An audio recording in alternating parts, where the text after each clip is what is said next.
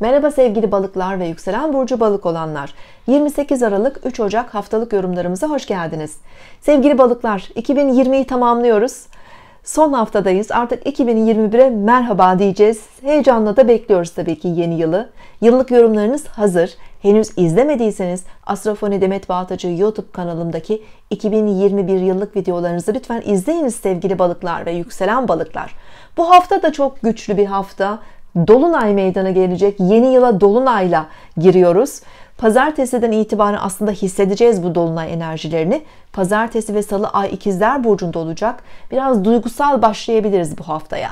Hani kendi evimizde, yuvamızda, ailemizle ilgili konularla daha fazla haşır neşir olduğumuz bir süreçteyiz aslında. Geçmişi de daha fazla düşünebiliriz. Ee, biraz nostaljik etkiler de gündemimizde olabilir. Salı gününden itibaren Ay Yengeç burcuna geçiyor. Çarşamba günü 30 Aralık'ta sabah erken saatlerde 8 derece Yengeç burcunda dolunayımız meydana gelecek. Dolunaylar bir farkındalık dönemidir. Ee, etkileri bir sonraki yeni aya kadar yani 10 Ocak'a kadar devam etmekle beraber en güçlü tesirleri 3 gün öncesi ve 3 gün sonrasıdır. Dolayısıyla bu haftanın geneline yayılan bir tesir. 5. evinizdeki dolunay aslında sizin için çok şanslı görünüyor.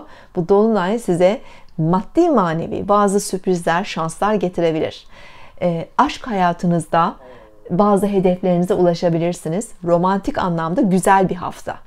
E, bu haftayı sevdiklerinizle daha fazla bir arada geçirmeniz, e, çok duygusal paylaşımlar yapmanız, romantik jestlerle karşılaşmanız mümkün görünüyor. Çocuklarla da ilgili keyifli gelişmeler var. Çocuk sahibi olan balıklar. Evet zaten hani yılbaşının ve pandeminin de etkisiyle daha fazla ailemiz, evimiz, yuvamız, sevdiklerimizle birlikte olacağız ama sizin için çok daha özel bir etkisi var. Hani bu birliktelik size çok güzel duygusal destekler getirecek gibi görünüyor. Çocuklarla güzel paylaşımlarınız olabilir. Aşk hayatınızda olumlu gelişmeler olabilir çocuk sahibi olmak isteyen balıklar.